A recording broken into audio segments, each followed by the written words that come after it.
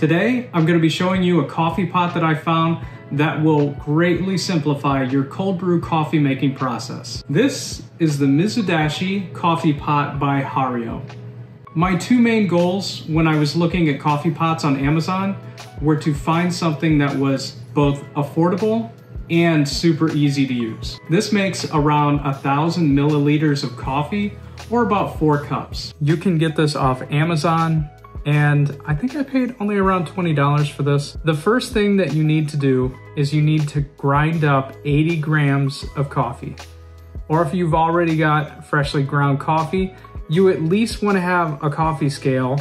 If you're unable to use a scale to measure your ground coffee, it measures out to be about three quarters to one cup of coffee grounds. You can get a scale for probably $10 or less on Amazon right now. So get a scale. Trust me, a scale is very useful for coffee making, bread making, all kinds of stuff like that. I'll link what I use. You wanna make sure it's ground up pretty fine because I've done it before where I didn't have it ground up fine enough and it had trouble filtering the water through the coffee. I use a chopstick to stir it while I'm pouring in the water. And that helps saturate the grounds better, make sure they don't clump together, per the instructions, you're going to end up putting in 1,100 milliliters of water. Really, all you need to do after that is put it in the refrigerator. I would suggest that you keep it in there for about 24 hours for maximum coffee infusion. You could get away with 16 hours depending on how infused you'd like your coffee to be, but I would suggest 24 hours or more. And then when it's time for the coffee, you pull the little thing out and you're ready to go. Also, I have not tried this yet, but you can make tea with this bad boy. All you have to do is put some kind of loose leaf tea in here. It is so easy to use.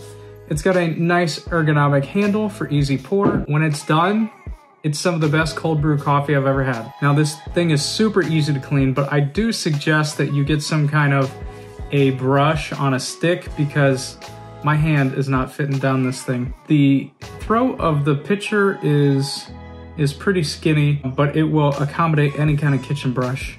And you can clean this thing up pretty easily. When you wanna clean the strainer, it's got a little cap at the bottom. That's an easy thing to miss.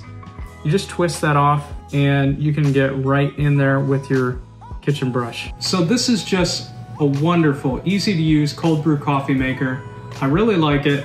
I even like the color. And it's really nice that you don't get any kind of grittiness in your coffee. It's very smooth, very delicious. This thing's great. So this is the part of the video where I say thank you for watching. If you have any questions about anything coffee related or anything at all, leave a comment below and be sure to subscribe, hit the bell, and I'll see you next time.